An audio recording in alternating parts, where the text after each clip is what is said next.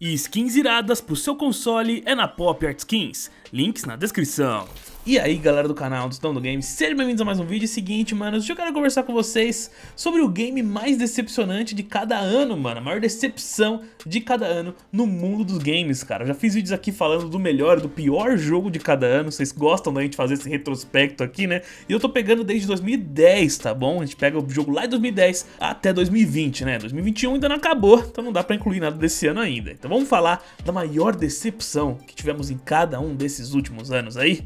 Já aproveita e se inscreve no canal, porque são vídeos todos os dias, ativa o sininho para receber as notificações e, é claro, deixa aquele like maneiríssimo para ajudar. Ah, e lembrando, hein, quando a gente fala de decepção, a gente não tá falando de jogo ruim, tá? A gente tá falando de jogo que não cumpriu com as expectativas, poderia ser melhor ou prometeu muita coisa e não atingiu. Às vezes o jogo é bom, mas não é aquilo que havia sido prometido, tá bom? Isso é que faz uma decepção. Então, muitos jogos que estão aqui ah, não são ruins, tá ligado? Só foram decepcionantes, ainda mais na época em que foram lançados. Bora falar deles. Começando então por 2010, um ano que foi incrível no mundo dos videogames, cara, um ano de Red Dead Redemption, um ano de God of War 3, mano. Como que esse ano podia ser ruim? Só que esse ano teve sim suas decepções, e pra mim a maior delas, assim, de a gente cair do cavalo, né, foi Prince of Persia The Forgotten Sands, cara. A gente sabe que Prince of Persia é uma franquia sensacional, das Areias do Tempo principalmente, né?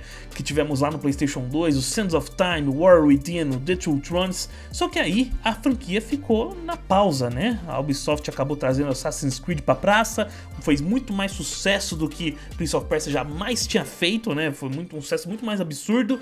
E aí de repente, tivemos o filme de Prince of Persia nos cinemas, que eu particularmente gostei bastante, considerando as atrocidades que temos no mundo dos filmes de games. Prince of Persia nem foi tão ruim assim. E aí, para acompanhar o filme, trouxeram um jogo que não é baseado no filme, e sim é um jogo que se passa entre o Prince of Persia 1 e o 2, mas que trouxe um pouquinho do visual do filme, né? Que foi o Prince of Persia The Forgotten Sands, cara. Que para muitos seria o retorno triunfal de Prince of Persia, mas não tá ligado? Por mais que seja um jogo divertidinho, um jogo maneirinho, e até um gostinho que a gente tava precisando ter depois de tanto tempo sem Prince of Persia, o jogo não conseguiu nem chegar perto do que é a trilogia clássica, tá ligado? Mas nem chegar no mínimo gostinho, nada, cara. É um jogo ok, jogável, dá para se divertir, dá para brincar, mas que não dá para realmente curtir uma obra-prima como foram as, os três primeiros jogos, tá ligado? Não dá. É um jogo que tem um combate muito esquisito, um ritmo mais esquisito ainda, uma história que parece completamente jogada ali no meio e nem sequer tinha os melhores gráficos da época nem nada assim, tá ligado? Era um gráfico completamente ok para 2010. Então foi uma decepção muito grande porque a gente esperava algo no nível da trilogia clássica e foi só um quase um spin-off aí, só jogado no meio do mundo dos games para acompanhar o filme e é nóis, entendeu? Tomara que a Ubi não faça isso com o Prince of Persia Sands of Time Remake que tá no forno. Vamos torcer. Já em 2011, a maior decepção do ano veio por causa de um trailer, né, que não condizia com o jogo. Então muita gente esperava o que aquele trailer apresentava e o jogo não tinha nada a ver com aquilo, que era no caso de Dead Island, cara. O trailer desse jogo, quando foi mostrado a primeira vez, foi um negócio de louco. Todo mundo ficou pasmo com aquele trailer que ia de trás para frente, né? A gente ia vendo uma família que tinha sido morta ali por vários zumbis e tal, mas o trailer vinha de trás para frente, todo dramático e aparentava que Dead Island seria um jogo emotivo narrativo envolvendo zumbis e tudo mais. Sei lá, é como se Dead Island seria um The Last of Us antes de The Last of Us existir, sabe? Por causa desse trailer. Mas quando o jogo saiu, tinha nada a ver com aquele trailer, maluco. O jogo não tem mais um resquício de nada emocional. É só um jogo em primeira pessoa de ação e meio RPG para jogar, bater nos zumbis e é nóis, tá ligado? E ponto, não tem nada além disso, o jogo não é marcante, não é emocionante, não tem uma história legal, mal tem narrativa a parada, então o trailer do jogo não batia em nada com o que o jogo era, então o hype que foi criado em cima dele não condiz, e ainda por cima, né, o jogo em si nem era tão legal, é um jogo que foi completamente esquecido um tempo depois. Por isso que Dead Island foi a grande decepção de 2011. Havia um hype gigantesco pra ele, cara. E quando lançou, é, todo mundo broxou. É como eu falo que decepção não tem a ver com o jogo ser bom ou ruim, né? Tem a ver com as expectativas e o que é entregue. Então, a maior decepção de 2012 foi ninguém mais, ninguém menos do que o Resident Evil 6, cara. Isso mesmo, mano que era prometido ser o maior projeto já feito pela própria Capcom, cara. Um jogo gigantesco de Resident Evil, com não só uma campanhazinha não, era três campanhas, mais a secreta lá da Ada, que era um jogo absurdamente grandioso, a Capcom inseriu toda a grana que ela tinha possível para fazer o game, e nesse sentido até que isso vingou, dá pra ver que o jogo é uma grande produção mas que não fez jus ao legado de Resident Evil, ainda mais considerando, por exemplo, o Resident Evil 4 e o 5, né? Que foram jogos de, de esmero sucesso ali, é, ainda mais considerando a, a, fase de ação de Resident Evil, mas até pra galera que jogou um 4 e um 5 e curtir a ação desses jogos, o 6 foi muito além.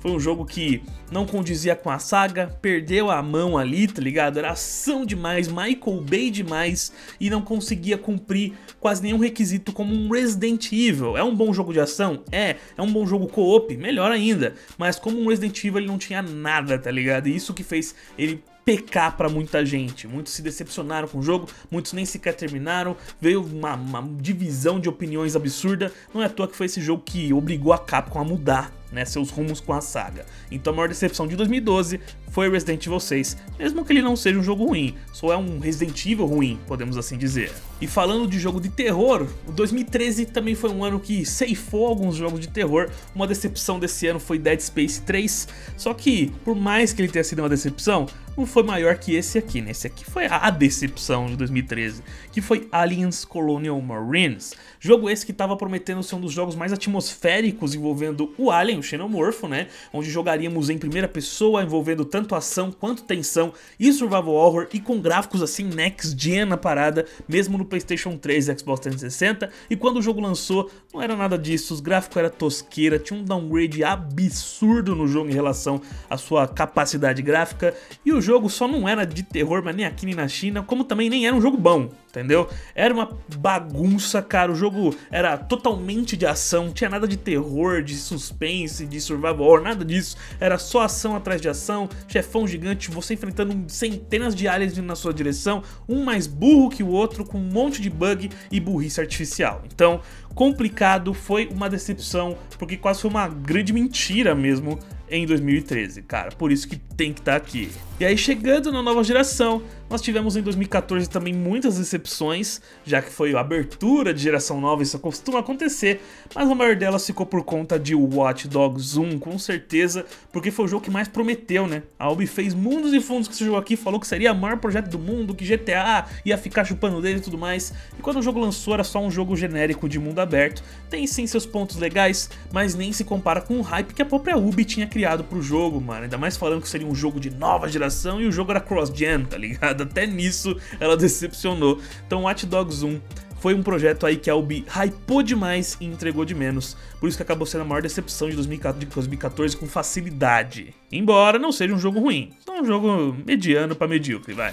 Em 2015, essa bomba caiu no colo da Playstation, isso mesmo, porque um dos seus principais exclusivos do ano era The Order 1886. Esse jogo foi a grande decepção de 2015, tivemos outras também nesse ano, mas The Order foi pancada, mano, porque a gente já estava acostumado com o, o grande acervo de jogos exclusivos do Playstation, nós já tínhamos na praça um The Last of Us, tínhamos os God of Wars, tínhamos a trilogia Uncharted já, então as expectativas para um exclusivo da Sony assim de nova geração, nesse mesmo estilo cinematográfico e tal, eram gigantescas e The Order não cumpriu com as expectativas, mas nem de longe, cara. O que tivemos foi um jogo extremamente medíocre e curto, que a única coisa que tinha realmente de relevante eram seus gráficos, mano. Joguinho de 5 horas de duração, curto, sem graça, repetitivo, muito monótono em muitos momentos, e a melhor coisa do jogo, que é o combate, é pouco utilizado. O jogo prefere mais gastar mais tempo com firulas e chefes de Quick Time Event, né? De ficar apertando o botão na tela,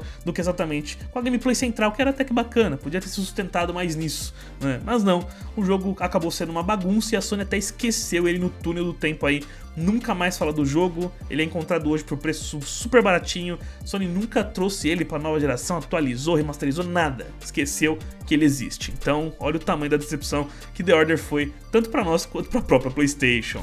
Em 2016, acho que isso é uma das maiores decepções, não só daquele ano, mas do mundo dos games, pelo menos na época, que foi No Man's Sky. Também outra decepção voltada para Playstation aí, porque o jogo era exclusivo na época, né?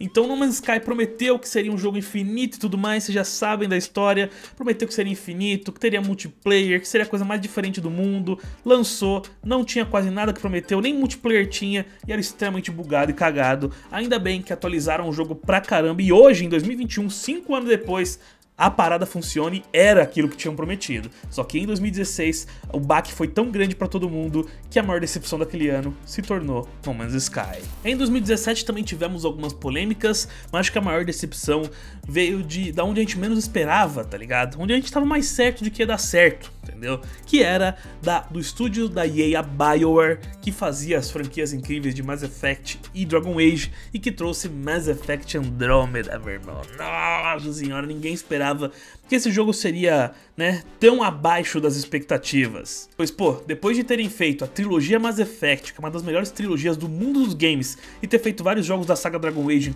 inclusive o Inquisition, que ganhou o Game of the Year de 2014, cara, as expectativas para Andrômeda estavam altíssimas, um novo Mass Effect de nova geração, explorando uma outra galáxia, e aí o jogo foi uma grande decepção, ele não tinha o mesmo apelo dos jogos anteriores, não tinha os mesmos, os personagens carismáticos e marcantes, os diálogos ou o roteiro, que nem sequer chegava perto dos antigos, e para ajudar, saiu extremamente bugado e com expressões e animações ridículas, que eram de fazer piada na época. Então o jogo acabou se tornando em 2017 uma piada e depois foi esquecido, cara, se tornando uma das maiores decepções, ou melhor, a maior decepção de 2017. Em 2018, a Bethesda deu um tiro no pé semelhante porque ela lançou Fallout 76, o que se tornou uma absurda decepção em 2018. A gente sempre fica carente de um novo Fallout, um novo jogo da saga Elder Scrolls, né?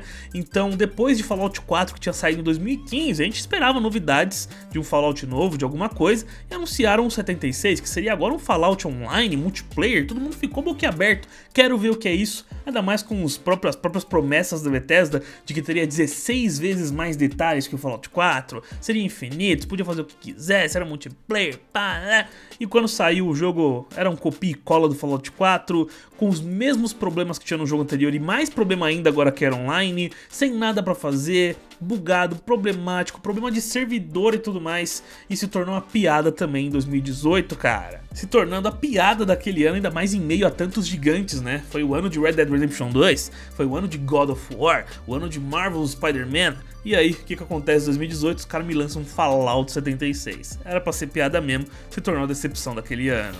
Em 2019 também tínhamos grandes promessas, só que a Bioware, o mesmo estúdio do Mass Effect Andromeda de 2017, conseguiu ganhar mais um pódio aqui nesse vídeo, hein? Mais uma maior decepção do ano, que foi no caso Anthem, velho. Isso mesmo, o novo projeto deles que estava há mais de 7 anos aí em desenvolvimento, ou pelo menos diziam que estava, né? Porque eles só fizeram o jogo nos meses finais, e que era pra ser o novo grande, velho, o novo grande MMO barra looter shooter do momento, tá ligado? Todos esperavam que Anthem seria o um novo jogo que pegaria todo mundo de vício, assim, pra viciar, jogar horas e horas a fio, uma das coisas mais inovadoras da geração, com gráficos surreais, parecia um jogo do Homem de Ferro online cooperativo, para você jogar com os amigos e customizar, só que o jogo saiu sem conteúdo nenhum, mal estava completo o jogo, né, cara? Com problemas e bugs e sem o brilho do seu anúncio. Então, acabou se tornando obsoleto, esquecido vencido e depois até cancelaram sua grande atualização. A EA falou, não, não dá mais para investir em Anthem.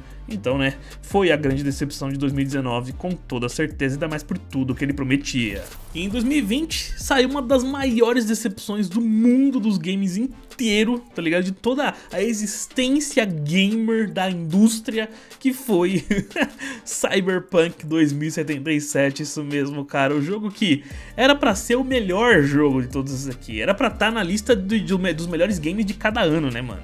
Mas acabou por estar nessa aqui. Cyberpunk foi uma decepção astronômica, todo mundo esperando um dos melhores jogos já feitos de todos os tempos e saiu um dos mais cagados já entregues pra gente, com um monte de coisa faltando, um monte de promessa não cumprida e também um monte de problema, bug e tudo mais, principalmente na versão de Play 4 e One. Foi uma tristeza tão grande que até dói falar no vídeo, então vamos deixar pra discutir um outro momento, porque só de lembrar dói no peito, tá ligado? Cyberpunk, você era pra... Você era o escolhido, Cyberpunk, não era pra você fazer isso com a gente. infelizmente, ele fecha a nossa lista de game mais decepcionante de 2020. Bom, manos, então esses são os games mais decepcionantes de cada ano, a maior decepção de cada ano desde 2010 até 2020. Você concorda com essa lista? Pra você, qual foi o game mais decepcionante de todos esses aí? E tem algum que você discorda, que não foi uma decepção, que não deve estar aqui? Justifique, mostre que outro jogo você colocaria no lugar dele. Passa a sua lista nos comentários, tá certo? Se inscreve no canal, ativa o sininho, deixa o like. Vejo vocês no próximo vídeo. Muito obrigado, um abraço e aqui, o seu amigo de sempre, Sidão do Game.